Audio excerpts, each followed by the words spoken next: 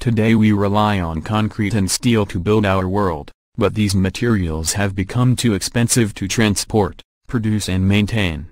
Now, DARPA is looking to other methods that can be grown on demand, self-repair and adapt to changes in their environment. Called the Engineered Living Materials Program, the U.S. agency plans to combine the structural properties of traditional building materials with attributes of living systems to produce a new class of hybrid building materials. Through ELM, workers will be able to grow the materials they need on-site from natural feedstocks, which would ultimately reduce energy and costs associated with traditional methods of production and transportation.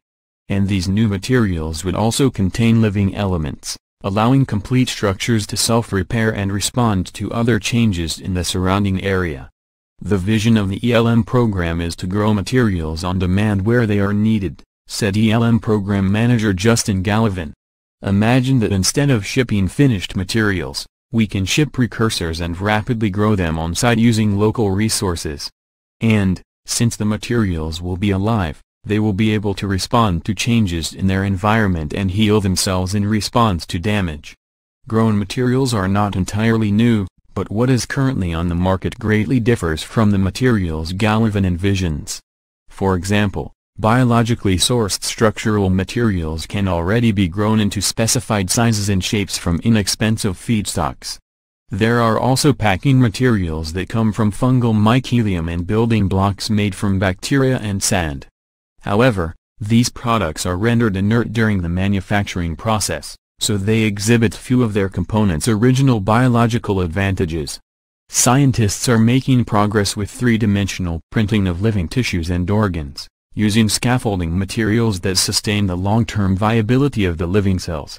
These cells are derived from existing natural tissues and are not engineered to perform synthetic functions and current cell printing methods are too expensive to produce building materials at necessary scales.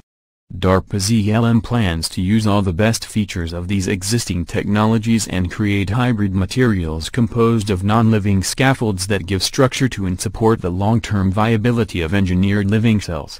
The agency will produce platform technologies that are scalable and generalizable to facilitate a quick transition from a laboratory to the construction area.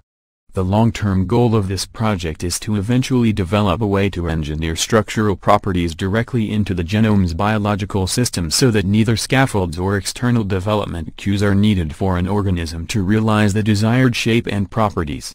However, DARPA notes this feat will only be accomplished if scientists are able to understand development pathways and how they guide the three-dimensional development of multicellular systems.